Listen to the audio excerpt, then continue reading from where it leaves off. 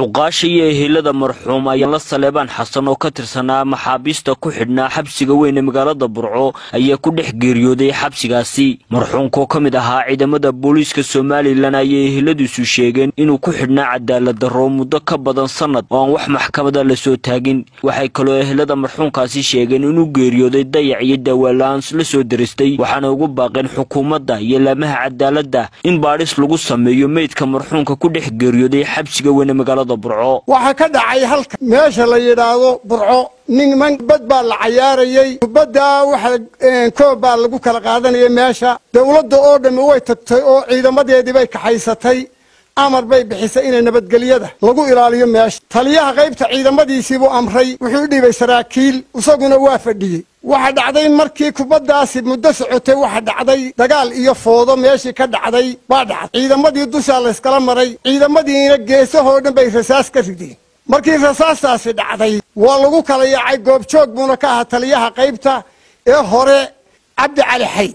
Waa fadhiyey goobta wasiirana waa fadhiyey dad baa ku dhintay meesha dadna wuu dhaawacay ninkaasi nin bilaysuu ahaa niman bilaysa qaarna waa xidhan yahay iminka. Nina shalaytuu ku dhintay jeelka sanad iyo badh bay xidhan yihiin nimankaas. Waxaanu islaam wixii halkaa ka dhacay waxa qaadanaysa dee dawladda. Ilaa iyagaa hawsha waday haddii da dhintay iyo haddii dembiga in la baadho annagu ma diidayno. Laakiinse waa la diiday dembigaas sidii loo baadhayey wuu ka lumay.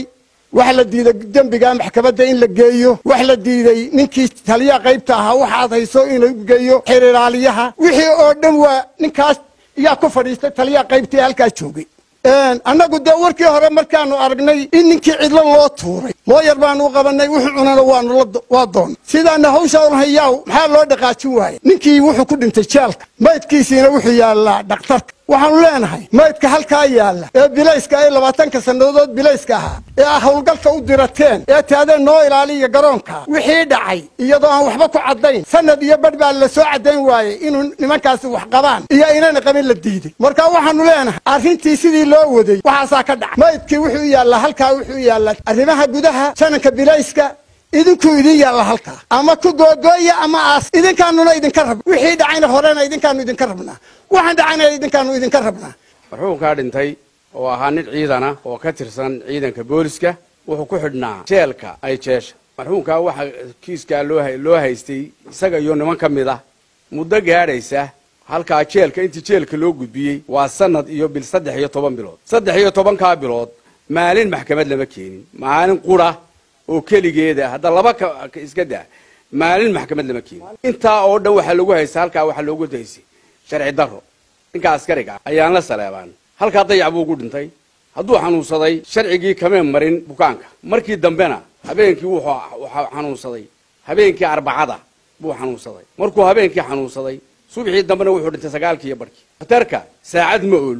Intaba wuxuu yiilay jeelka oo yidhi amar uma haysanno aanu ku saarno oo ku geyno amarjansiga marxuumkaa dhintay ee intaa xidhnaa ee aan maxkamad la horgeyn waxaanu ka doonaynaa cidday qusayso oo ah wasiirka daakhiliga oo xukuma daakhiliga iyo jananka ciidanka. Madaxweynaha somalilan muuse biix cabdi baanu fariintaa u diraynaa oo gaadhsiinaynaa na soo kala gaadh dawladdaada waxa ay samaysay waad aragtaa dadkii halkaasaa meydkiisa yaalla. Meydkuna nooma yaalla idinku idin yaalla. Afar iyo tobankaa bilood ee ninkaasi xidhnaa wax maxkamad oo uu helay oo la geeyey. Ma jiro. Xabsiga weyn ee burco sidii maalintii shilku dhacay loo geeyey. Shalay subax ayuu ku dhintay jeelkii. Caafimaad ma helin oo caafimaad lama marin oo lama geyn goob caafimaad. Waxa weeye ninkaasi annagu waxaanu u qabnaa in loo dilay bareedh taliyihii hore ee la bedelay. Waxa laalay wuxuu arrintaa ka qabtay iyo maxkamaduu geeyey iyo hay'adii sharcigaa uu mariyey. Ma jirto ina xayd baanu u daba fadhinaa. Isagaa halkaa ninkaa soo gaadhsiiyey waxaanaanu leenahay madaxweyne ciidankaaga qaranku ma geeyaan. Inay dembila'aan ay xabsiyada ugu dhintaan ma geeyaan. Ayaanla wuxuu ahaa ragga hadh iyo maalin u taagan had iyo habeen u taagan amniga qaranka. Haddaan ciidanka la ilaalin dee qaran inoo ilaashan maayo.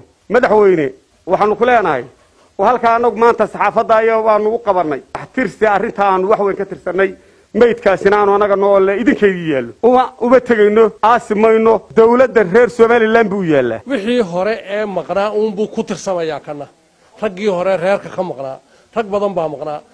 Dawladdu si yaryar si yar oo dawladda ugu maqan. Oo kana dawladunbuu ku maqay kuwa horena dawladda ku maqnaay oo cadaalad waayey. Geesta kale mas'uuliyiinta xabsiga weyn ee magaalada burco aanu isku daynay inaan wax ka weydiino marxuunkaasi ku dhex dhintay xabsigaasi ayaa ka gaabsaday jaamac saleebaan cumar bulsha t v magaalada burco